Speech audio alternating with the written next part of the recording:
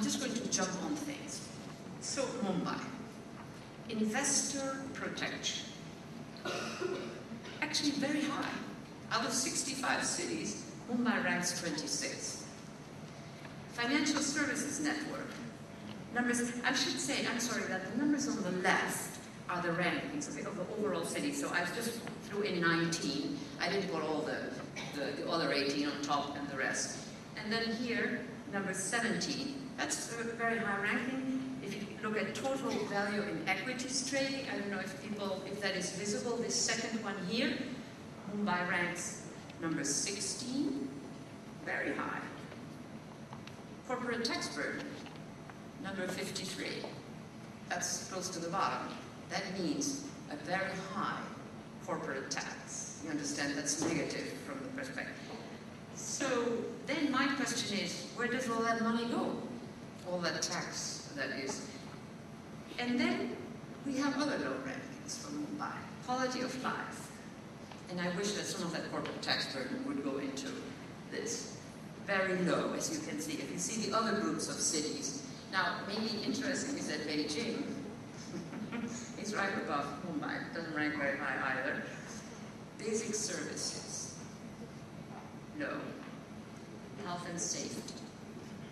Low. Now, I want to remind people that I started out with a few slides that showed Mumbai as a very significant global financial center and uh, capable of collecting a lot of corporate tax. So in that contrast, I want to put this. Now, number of commodity contracts, Mumbai ranks number six. That's very significant. Financial flow dimension, how money, the ease with which, behind each of these stands a lot of very concrete issues. The ease with which money comes in and out, you know, very high. These are very high rankings because, you know, there are powerhouses that are involved. Now, ease of doing business drops very low, number 60. Of starting a business, not easy, number 54. In other words, with financial issues, Mumbai is ranked in a totally different category than this other dimension. So ease of starting a business is pretty difficult, but it's even more difficult to close a business. Now, you know, there are, again, there's all kinds of stuff behind this that explains it. I like this one, since you opened one of them. But it ranks very high. You can see that, right? Number of five-star hotels. Um, volume of commercial real estate, we all know. Now, here what I also find interesting is the group of cities with which it is. You know, you, you see that some Mexico City, uh, um, what is it, the one that, they, they, you know, several cities where you have a lot of real estate, but the diversity of the cities involved is also astounding. That this is something that is cutting across very diverse types of cities. And I couldn't help but get at this. The Google hits, you know, there is actually data on. And Mumbai is somewhere in the middle. And the cities that rank at the top, actually it's very, very interesting to see what are the cities that catch people's imagination. But again, I thought it was interesting to see the group of cities within which Mumbai fits there. And um, anyway, yeah, so it's a whole sort of global perspective. Now I want to, to conclude by coming back to this question of the character of these global cities today. First point, the number has grown. And I would say there was a first phase, 1980s, when the global economy is taking off, and a few cities emerge as very significant.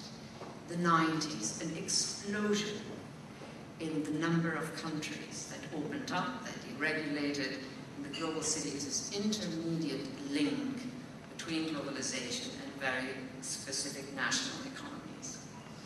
I think that today we are entering a third phase, which is a kind of thin capillary network where smaller and smaller places get articulated with the global economy. In a way, we have now, through these global cities, an infrastructure for the running, the managing, the debugging, etc. of global economic operations. The other side of the global city, the politics. The dynamics of global cities produce a democratic deficit. Mind you, that's not the only thing producing a democratic deficit. There are a few other variables at work. But this is truly a puzzle in terms of how do we govern questions of economic justice, distribution of benefits can be assured, at least to some extent. Finally, for the city itself to have this maldistribution of income is a significant loss. It is much better for a city to have the largest share of its income going to a middle class, a modest middle class, because that modest middle class is far more likely to spend its money in the city rather than a top 20% of very rich people that can send their money anywhere. I don't know if people notice the signs, or I notice the signs on the buses here in Mumbai that say Indians now can invest overseas, etc., at least $200,000. No, I mean, the modest middle classes don't have 200,000 to invest overseas, but they have money that they spend in the city. So there is something very exciting about this economic era for cities. And there is something really challenging, which has to do, I think, with the political side of the matter. The economic side needs to be governed a bit more, I think, than it is right now. I thank you very much.